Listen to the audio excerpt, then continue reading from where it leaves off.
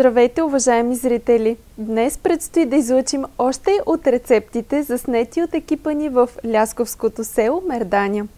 Главни героини са певиците от групата за обработен фолклор Авлига към клуб на пенсионера Надежда. Художествен ръководител на състава е госпожа Цветанка Христова, на която специално благодарим за оказаната помощ при организацията на снимачния процес в Мерданя. А вие, скъпи зрители, останете с фолклорна трапеза и вижте всичко от начало до край. Ще ви помоля най-напред да се представите. Пенка Димитрова Стоянова се казвам. Местен жител сте на Мерданя. Съм местен жител от Еленския Балкан сме, но от 58 година родителите ми се преместиха тук в Мердания и от тогава до сега ние харесахме селото и от града се преместихме тук. Вие сте сред най-големите майсторки на пити тук в Мердания, защото вие сте избраната да представите пита в днешния брой на фолклорна трапеза. Не, всичките в а, фолклорната група са майсторки, но по стечение на обстоятелствата този път аз ще правя питката. Така? Как се казва питката? Питката се казва Слънцето. Обаче зависи за какъв празник ще се прави. Затова сега сме я кръстили питка за кръщене. Много любопитно. Да проследим как се приготвя. Какви продукти ще използвате за тестото? Ами, най-напред си приготвяме маичката да втасва, докато бъркаме за питката да я умесваме. Разделяме си маслото и това още на три пъти. Това е маслото, което ще се сложи в продуктите за това. Но най-напред да си направя маичката. Водата е хладка, вероятно? Да, да, водата е хладка. Защо е добре да престои маята? Защото по-хубаво е, когато трябва да увеличи обема си на като се забърка, по-хубаво става вече подготовката за битката.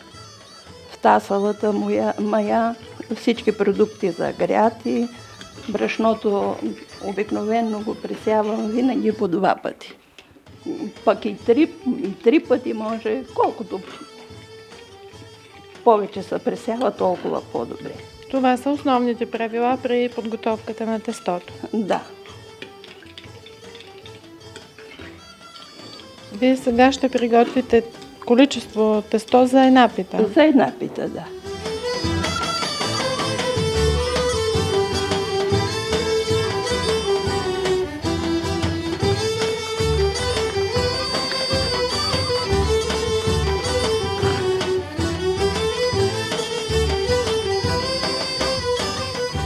Слагам и малко захарчица за по-бързо втасване. Втасване на маичката.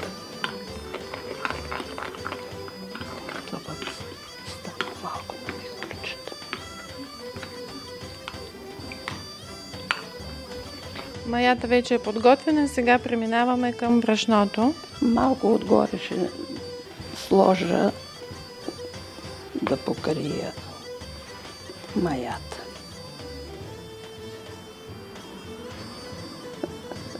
Когато почва да втасва, просто се напуква брашенцето и гледам нали, до какво положение. Сега започва пресяването. Пресяването.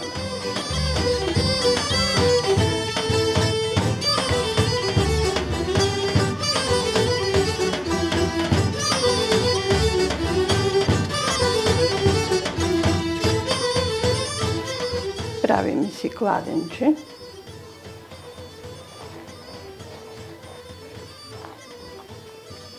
Слагаме солта. Измерена е като количество? Една супена лъжичка сол. Така. И захар. една супена лъжичка захар. И сега половината от тестото. От, от маслото. маслото. Да.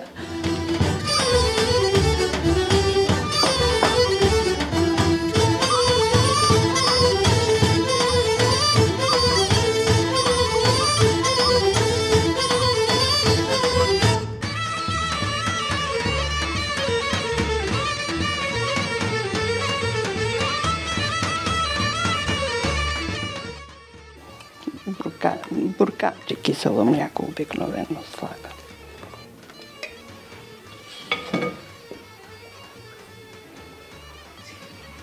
Маичката е, ще сложа и да разбъркам сега. Тя започна да се повдига. Да, започва да се повдига. И тя ще я сложа само да разбия тук масълцето с яйцата.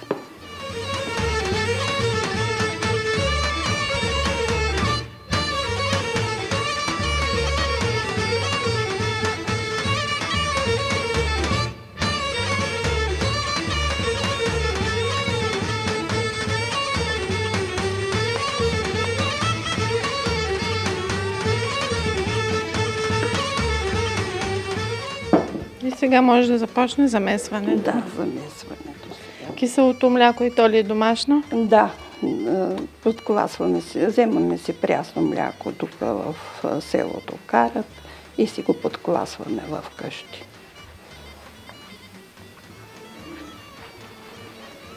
То е хубаво киселото мляко малко да престои, да бъде малко по-киселичко, отколкото съвсем прясно да бъде.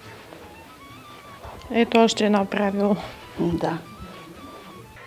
А вие биете ли тестото? О, да, сега сто пъти. сега сто пъти ще бием и тестото.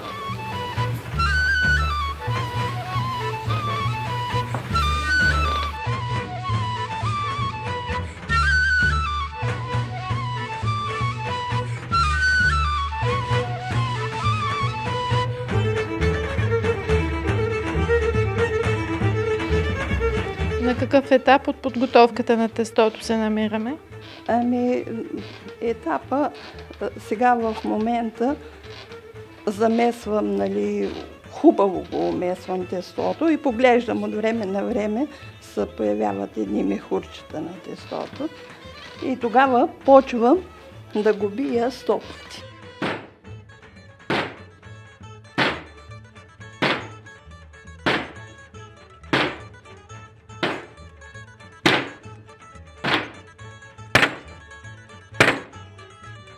Доста бой изяди тестото. Сега какво го очаква? Сега го очаква разделянето на три питки. И всяка питка ще почнем да я точиме по-отделно. Отгоре намазваме с масълцето, което е останало.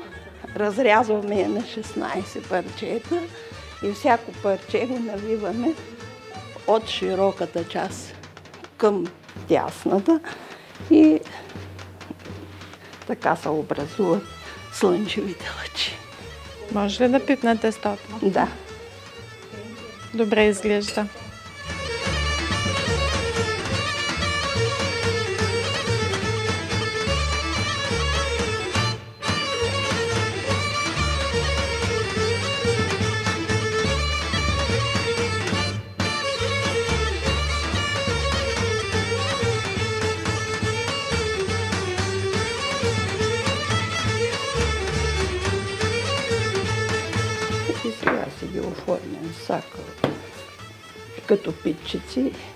И ги оставяме там. Като почнем първата да разточваме, оставяме другите да втасват. Допълнителното замесване го правите без брашно? На... Да, да, без брашно, защото то е готово тестото и не лепи вече.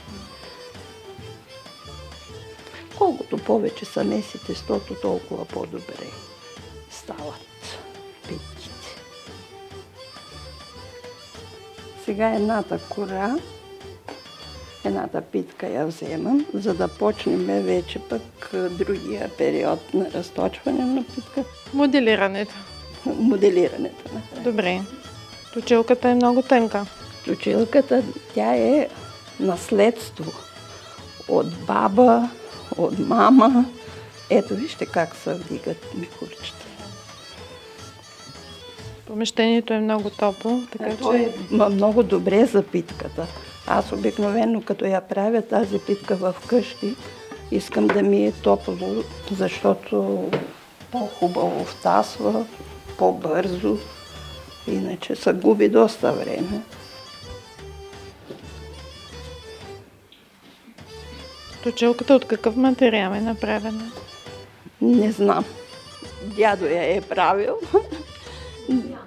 Дядо е правил, баба не я даваше на никого, даже и на дъщеря си не я даваше тази точилка. Тя е, не знам колко е стара.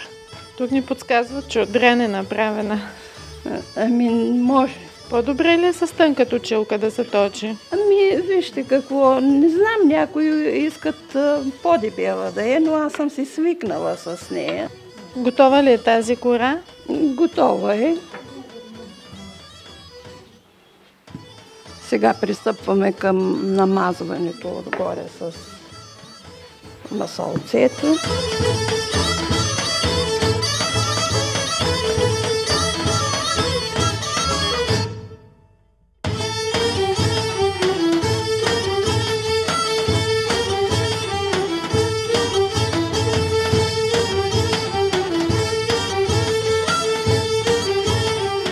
Намазва се равномерно. Намазва се навсякъде равномерно и се слага, като разточиме другата кора, слагаме я отгоре, пак по същия начин намазваме. И последната кора, преди да я намажем, разточваме заедно всичките и трите кори.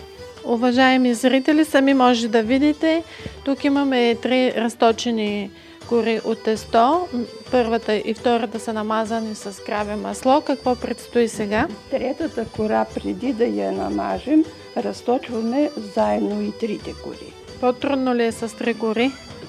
А, По-трудно е, да, когато е питката само такава, без... а, Но по принцип а, тая питка я правим по празниците, по Нова година, на Великден. И за това гледаме да е малко по-красива питката. За това си играеме толкова време да я направим. Сега следва намазване. Сега следва намазване.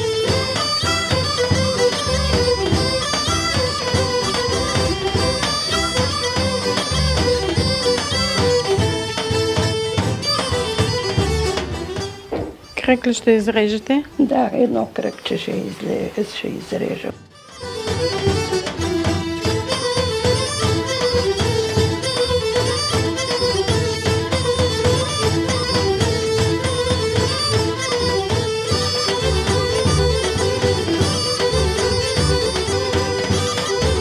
Почваме да разрязваме е, корите на 16 парченца.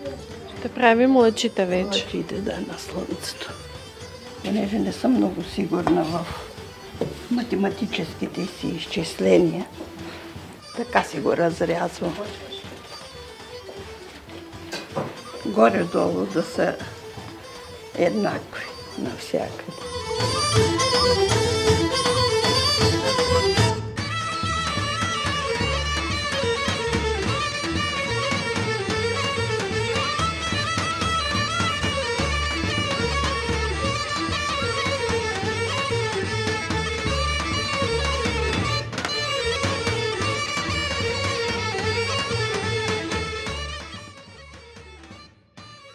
Почваме да навиваме от широката към тясната част, за да оформиме лъчите. Ето го единия лъч, готов. Слагаме го.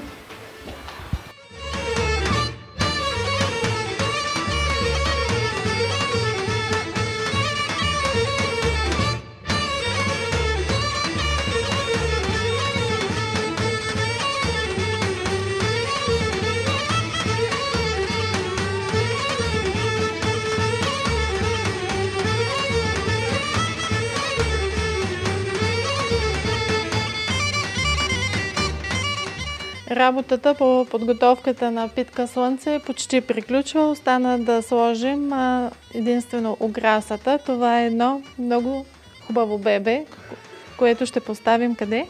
Ами, поставяме го и тук в средата. И заедно с питката втасва и бебенцето.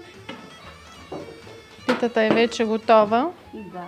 Доволна ли сте от резултата? Доволна съм.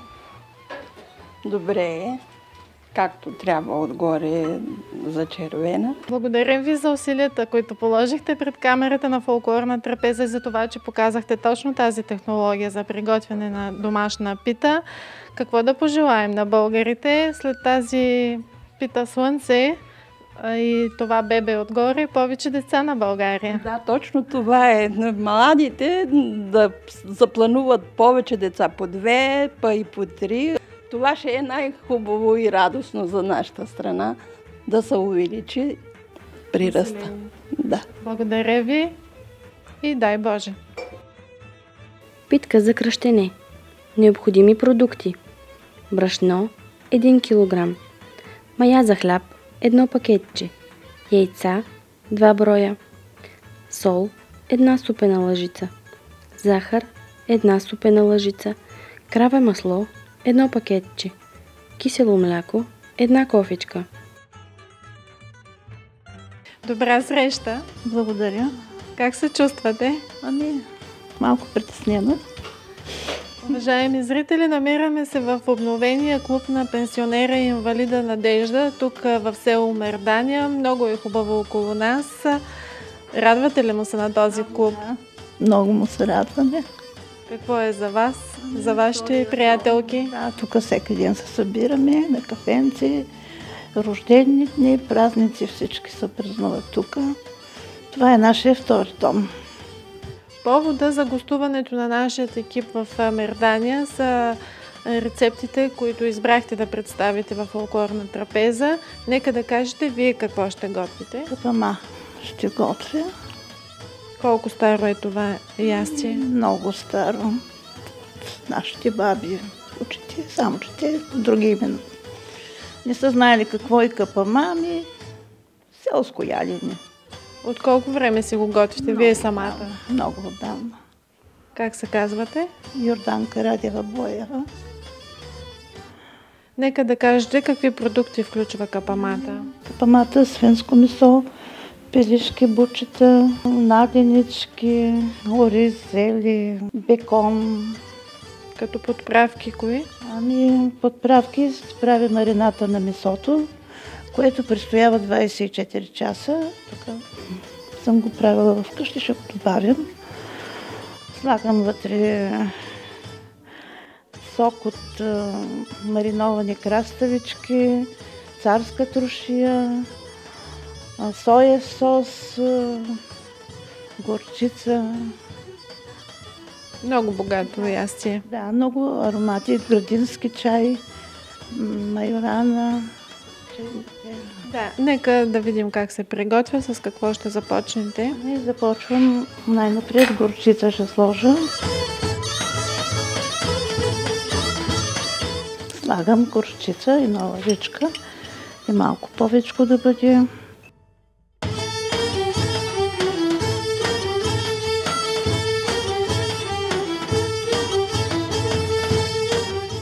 Равен пипер.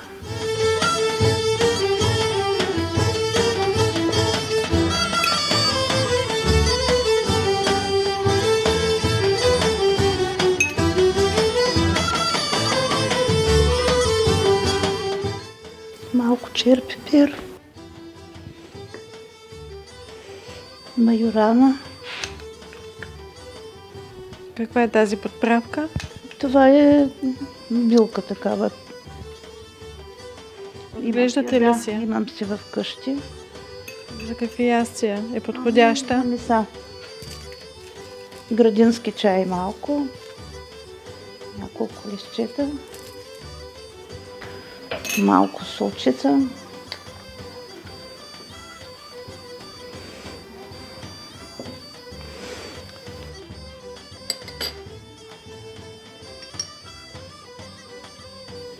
Соя сос. Две лъжички.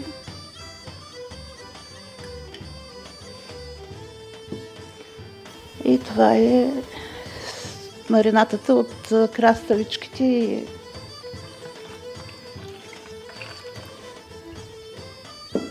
И започвам да си редя месото вътре. Чакай най-напред да разбъркаме. В тази марината трябва да престои 24 часа. В хладилника. Да.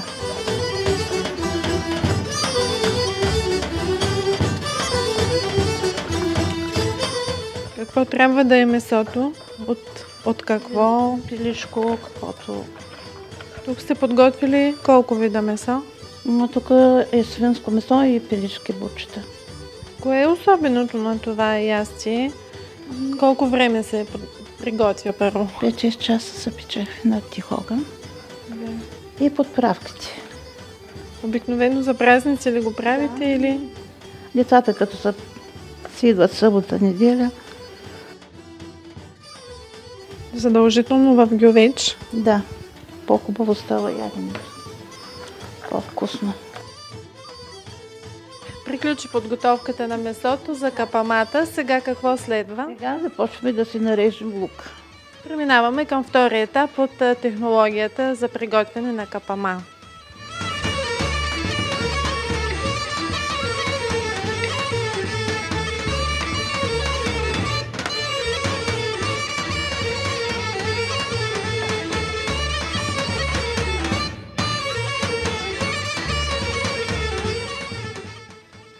Лука вече е нарязан, намира се в тигана, подготвяне за готвене. Какво следва сега? Ще сложим зелето.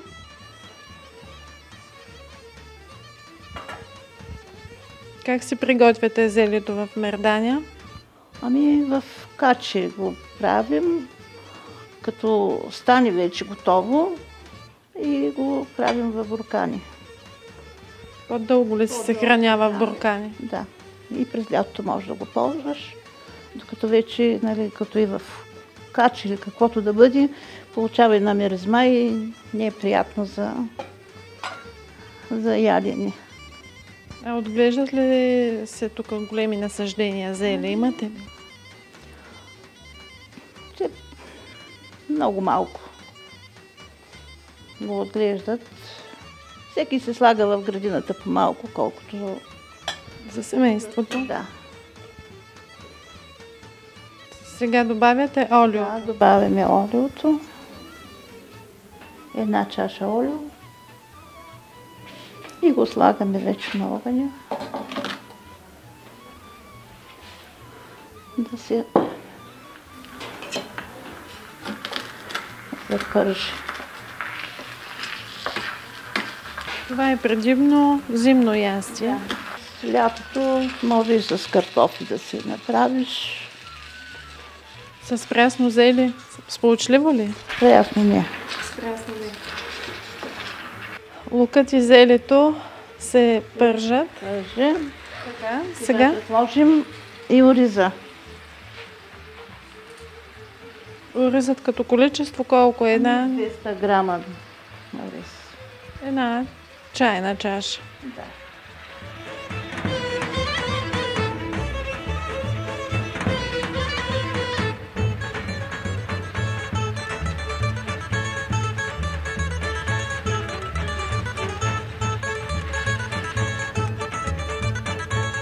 Сега ще добавите червен Добавим пипер Червен пипер.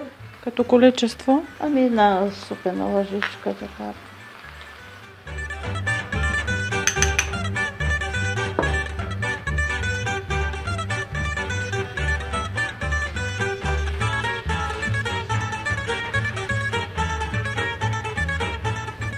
Да, сега ще сложим малко чубричка.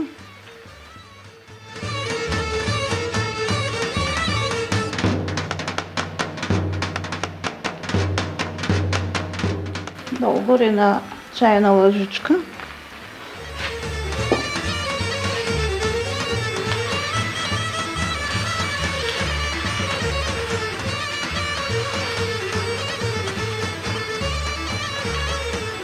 Започва да ухае приятно. и чер пипер. Също.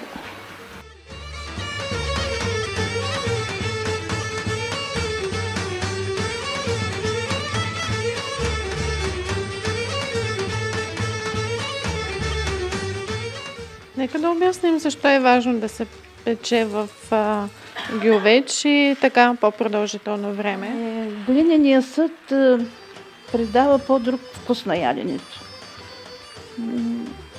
Още от на времето пак са готвили и боб е, в глинено гърне. По-вкусно яденето.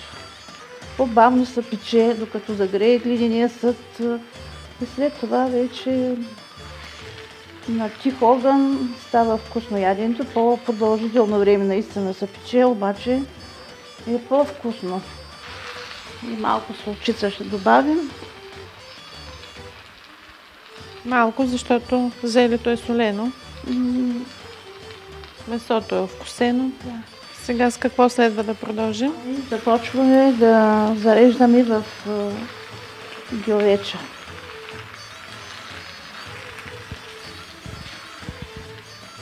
Сега ще нарежем бекона. На лентички. Да.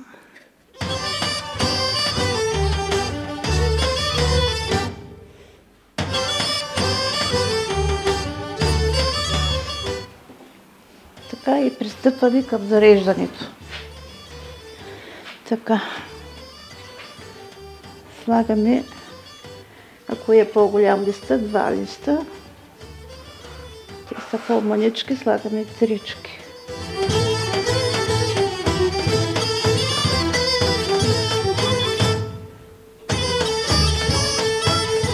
и зареждаме една част от бекона.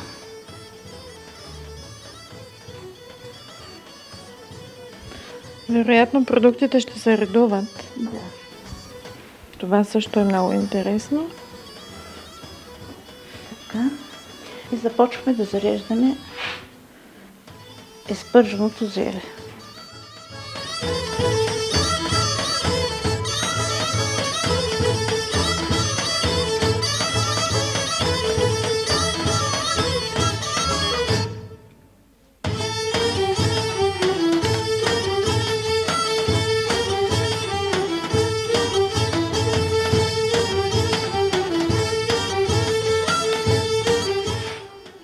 Пристъпваме към свинското месо.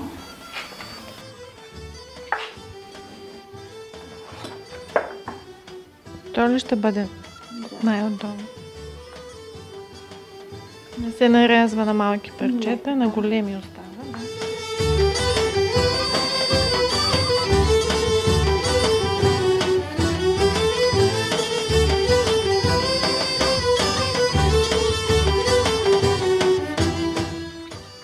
Количество колко е месото Килограм. за този размер на гювече? Напълно достатъчно. Да.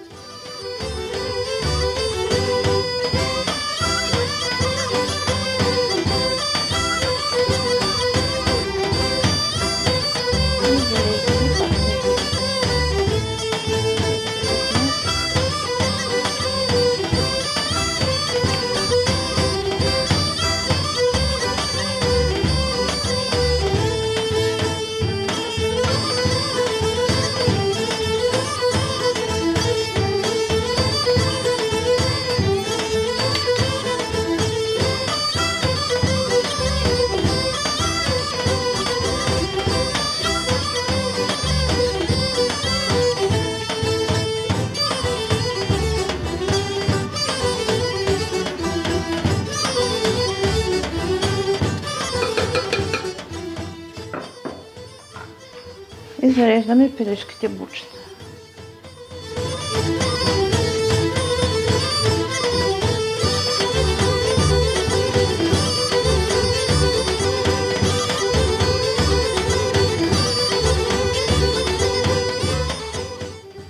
И отново зеле. Да, пак.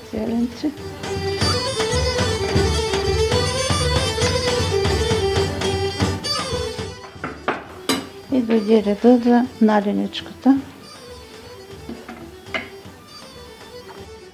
Тя се нарежда по краищата на съда.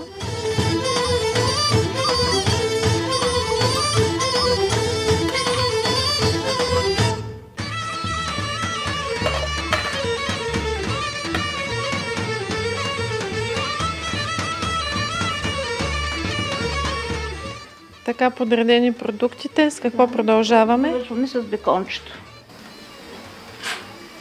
Най-отгоре слагаме бекон. И, така едно зелево листенце отгоре. И заливаме с една чаша зелев сок.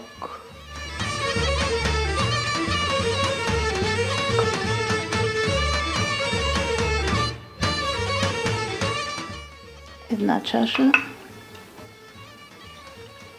Вода. Това достатъчно ли? е? Малко да е отгоре. защото- Е така. Не бива да плуват в течност.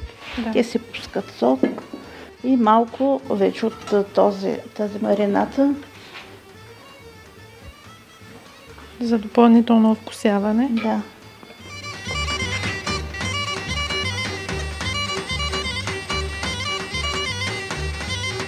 Поставя се капака да. и Поставяме капака и го поставяме в фурната да се пече. Казахте На огън. 4-5 часа. 5-6 часа максимум се пече. На колко градуса? До 110 градуса. Най-напред малко да му дадем по-силно да заври. И след това се След това остава. се намалява и аз го слагам през нощта и се пече само. Така спя. След като стане готово, отново ще го покажем на зрителите. Поставяме капака. Сега го поставяме в фурната за готово за печене.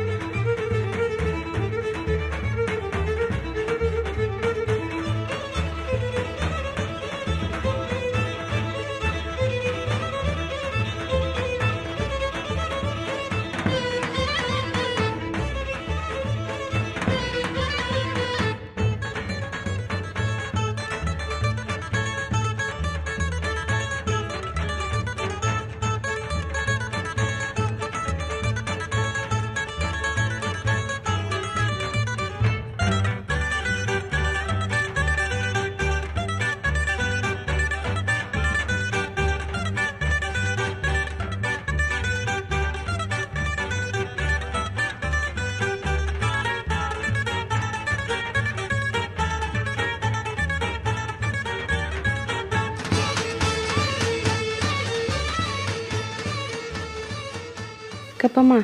Необходими продукти. Свинско месо 1 кг. Пилешки бутчета 2 броя. Бекон 200 грама. Свински наденички 4 броя. Кисело зеле 1 буркан. Ориз 200 грама. Зрял лук 2 големи глави. Олио 1 чайна чаша. Зелев сок 1 чайна чаша. Вода 1 чайна чаша. Червен пипер една чайна лъжица, черен пипер, една чайна лъжица, горчица, една чайна лъжица, соев сос, една чайна лъжица, по една щипка чубрица, градински чай и майорана. Настроението тук в Клуб Надежда е повишено. Продължаваме в хубаво настроение. Какво ще покажете вие? птичи гнезда. Много ги обичат а, внуците ми и винаги, когато ми дойдат на гости, а, винаги им правя птичи гнезда. Първо да се представите, след това можем да започваме. А, казвам се Елка Арменчева. Женена съм тук. Вече почти 45 години. А тази рецепта от кога я знаете и от кого? Ами, тая рецепта я знам от мъжа си. Любопитно. Да.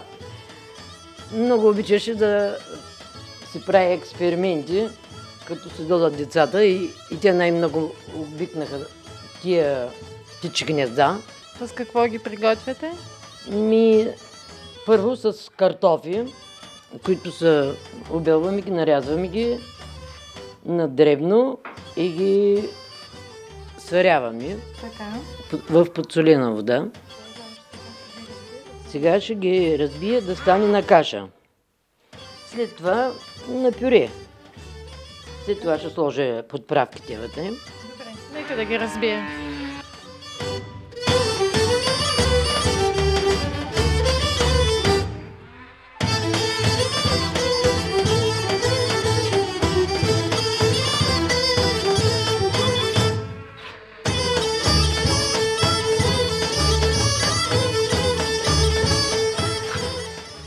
Сега ще сложим а, подправките. Подправките. Да. Като количество са една чайна лъжичка чубрица и чер пипер, малко по-малко една чайна лъжичка. А самите картофи са килограм. Килограм, да. Пак ще го разбием, за да може да се умеси.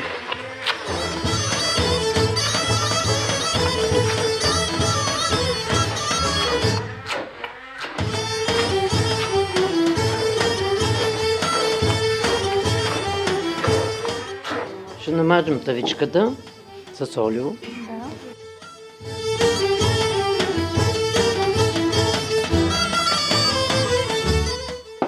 Долу-горе, колкото да може да се намазани Дъното. дъното на тавичката. И с лъжицата правим гнездата. И сега с черпака Да. Направим гнезда, като ги слагаме, отгоре ги натискаме.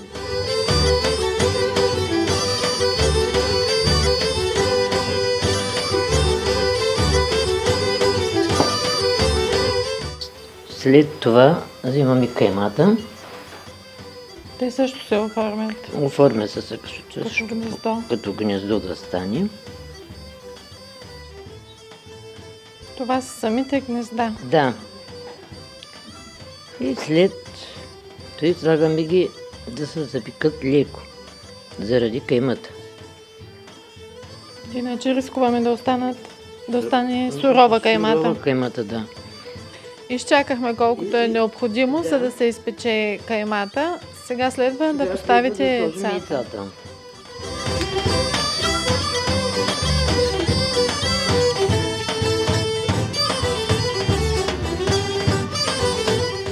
Целта е тук да се задържи Да, жълтъка в центъра. да. Получи се. Сега трябва да го запечем. След това Ще го аранжираме. ще го аранжираме. Бързо ястие, бързо се изпекоха и яйцата. Вече са пред нас и следва аранжирането. Да. Е, каквито клонки имаме. Магданол. Сен Магданов. Пресен магданоз или може и целено. Още по-красиво изглежда сега. И след това слагаме по едно орехче. Какво остана? И сега малките пиленца.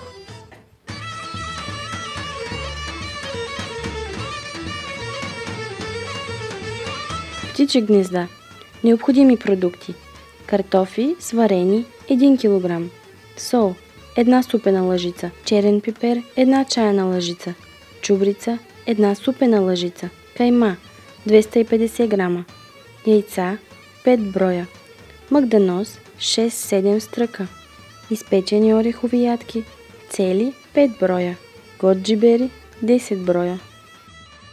Уважаеми зрители, в готовност сме да ви покажем следващата рецепта тук от село Мердания. Най-напред да се представите и да кажете какво ще готвите. Е, Добър ден и привет на всички зрители. Е, Казвам се Снежанка Величкова Русева.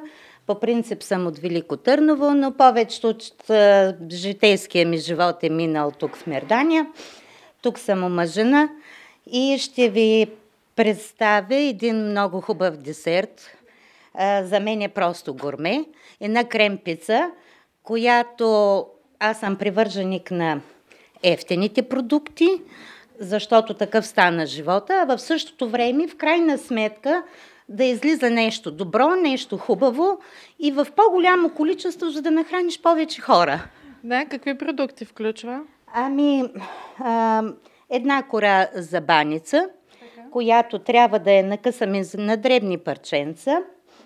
А, приготвя се крем, 1 литър прясно мляко, 10 супени лъжици брашно, 7 яйца, които трябва да ги разделим на белтъци и жълтъци и съответно крави масло, за да стане самия крем по-пухкав. Много бързо е за приготовление и става много вкусно. А корите трябва ли да са изсъхнали предварително? А, или... Сега, ние ще ги опечеме, точно това. Ние ги накъсахме и после ги слагаме да се запекат, за да придобият един а, хубав а, а, карамелен цвят, а, за да станат а, нали, запечени, защото когато излеем и крема, то ще стане едно тесто. А след като са запечени, са едно е като лазаня, няма да...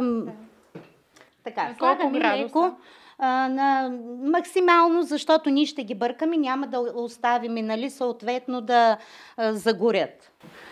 Печката е загряла, пъхаме ги вътре и след малко ще ги разбъркваме. През това време може да сложим, да направим крема, млякото да завира и крема да го приготвим. Млякото вече се чува как а, къгри. Как къкри.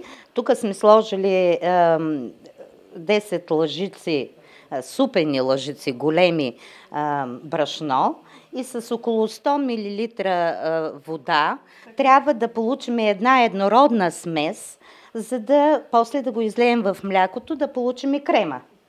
Така, изсипваме по малко вода, съответно, за да ни става на така наречените вълци. Нали? Да, да, по малко вода и разбъркваме. А водата студена, Студена, топла? да, водата е студена, студена е. Така. Да видим млякото дали е завряло. Почти. Това е краве мляко прясно. Да, краве прасно мляко. Сега слагам и е, според вкуса на човека по принцип, но е, аз лично обичам по-сладко, затова тук съм сложила 10 супени лъжици захар. Да го подсладим и ще сложим и малко една щип, то всъщност едно пакетче ванилия. Ето, аз една щипка ще сложа, защото при мен казах, че има всичко от кулинария. Млякото сигурно е домашно. Домашно и бъркаме го, защото е гъсто и може да загори. Вземаме сега вече разбитото брашно и започваме полека с интензивно бъркане да наливаме в млякото, за също да се получи така наречената еднородна смес и да ни няма така вълците, казани. Или топчета образувани. Продължаваме да бъркаме, защото млякото много бързо загаря, тъй като е домашно. И да се получи хубава гъста смес. Бъркаме, бъркаме. Почти приключваме с крема, защото ето виждате, че получава необходимата гъстота. Във всяка една кулинария, когато слагаш брашното, трябва поне казано 4-5 минутки да покъкри, за да не, не мирише. Има един а, такъв а, мирис на брашно, за да бъде по-добре, да, да се изпече. Добавяме това краве масло, за да получи един пухкав, пухкава консистенция. Кремът. И пак продължаваме да разбъркваме, докато се разтопи маслото. Тук приготвяте десерт. Когато готвите, какво предпочитате? Основни ястия, предястия, десерти. Какво ви е най-интересно да приготвяте? По принцип десертите. Десерти предпочитам, ама моите хора, те са а, Не са махнати в яденето, те а, всичко обичат. В къщи почти всичко. А, моя син а, беше дълги години готвач на кораб и много и от него съм научила много рецепти, защото човек а, се учи докато умре и до умиране научен съответно. Значи, сега го махаме леко настрани да поистини и а, ето така. После ще прибавим яйцата, жълтъците, за да получи а, жълтеникъв а, оттенък, нали, да не е само така бял крем. Това, което е важно да се знае за този десерт, е добро, доброто изпичане на корите. Да, корите трябва да са в златисто. Сложихме ги да се пекат. Сега да видим какъв цвят са добили. Ето, почнали са да стават златисти, но все още, ето тук, има, които са бели, почти тестяни. Заради това трябва да поразбъркаме два-три пъти и да почти да всичките да получат златистия цвят. Когато сложим и кремът после, да няма, да не става на тесто. Така, пак слагам и да се пекат и след малко ще отворя. Казахме, че сложихме 14 чайни лъжички, по две лъжици на белтък и започваме да разбиваме полека, като изсипваме по малко захар, за да могат белтъците да поемат захарта и да стане добра консистенция, като напълни полека, полека се напълни съдинката.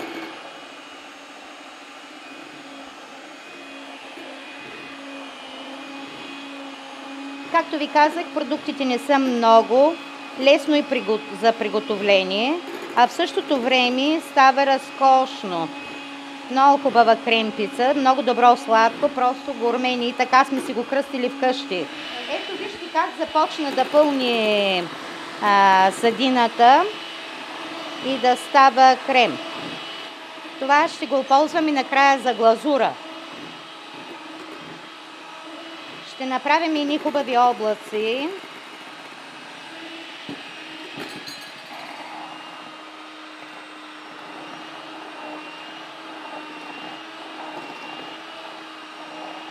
Желателно и винаги в една посока да се върти миксера и да напълва догоре, за да не се получи някакво пресичане. По принцип не, но но така е желателно. Големите майстори така препоръчват, пък ние трябва да се учим от тях.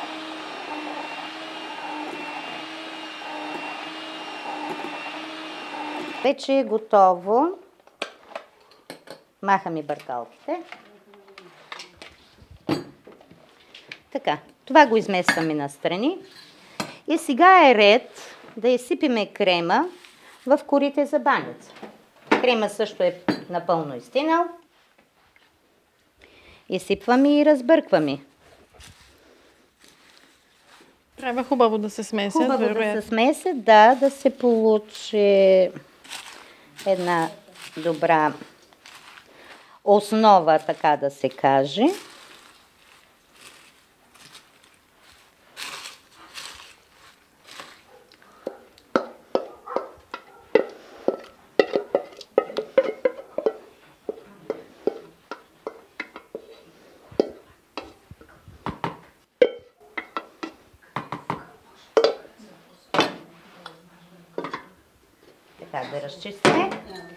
Сега хубаво така да вкараме крема в там, където няма, в корите. Уха е много приятно. Наистина на домашни продукти. Да, уха е приятно. И това е от Свещовския край. А, моите родители са оттам. Татко е също много добър кулинар. А, този десерт е от Свещовския край. Да. Само, че глазурата ние си я подобрихме отгоре.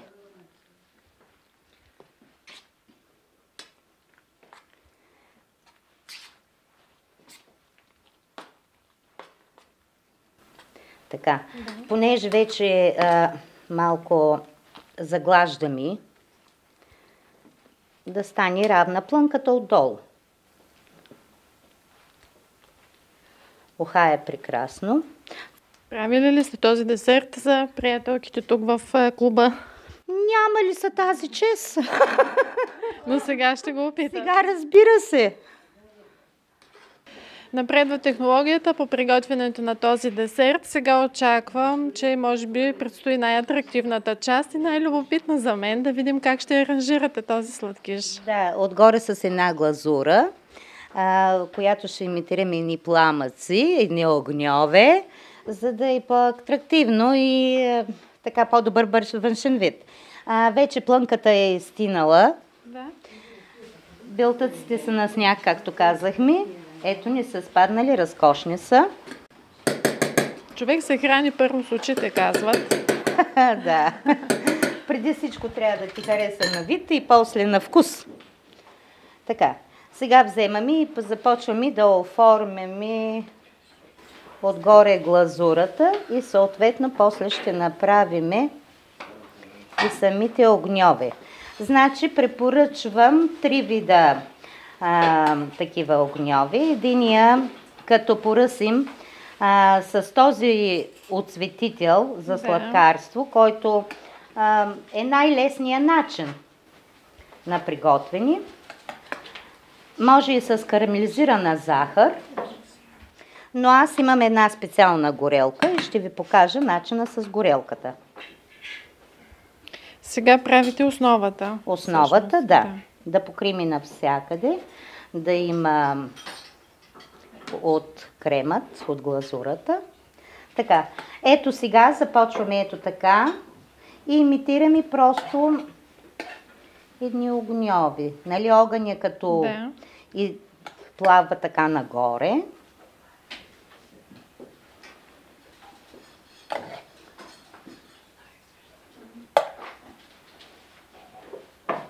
Още малко ни остава да довършим. Трябва да сме по-експиративни. И съответно после трябва да се остави на студено, да може да стегни, за да не се получи разпадане на тия белтъци. Хубаво е да стои в малко в хладилника. Ще изпичате ли след това? Не, не. Това е, това е всичко.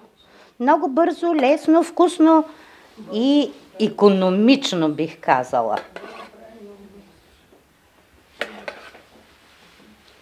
Значи, казахме, този е най-лесният начин да поръсим я отгоре и да придадем.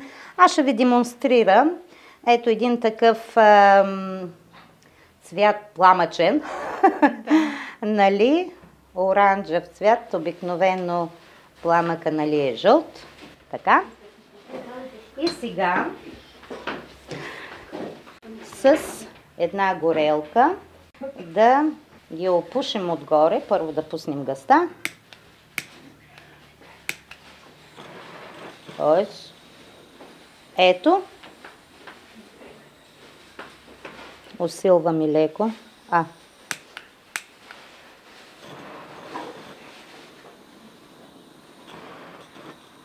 Вече готовия завършен вид на тая пица, за която за мен тя е просто едно гурме. Наистина нещо много добро, много вкусно. Желая на всички зрители добър апетит и а, с мерак да се я приготвят и да видят, че наистина е нещо добро. Крем пица. Необходими продукти. Кори за баница – 1 пакет.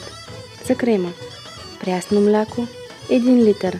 Брашно 10 супени лъжици, вода, половин чайна чаша, захар, 10 супени лъжици, ванилия, едно пакетче, жълтъци, 7 броя, краве масло, половин пакетче. За глазурата. Белтъци. 7 броя, захар. 14 чайни лъжици, отцветител по желание.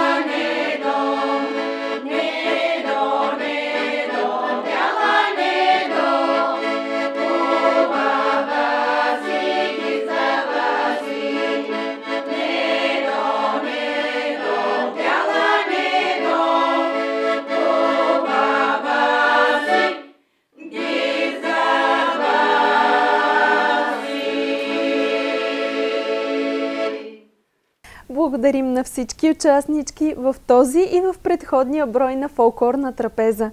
Нека всички от група Влига да бъдат живи и здрави, щастливи и все така задружни в делник и в празник. Благодарим им за оказаното гостоприемство към колегите от снимачния екип.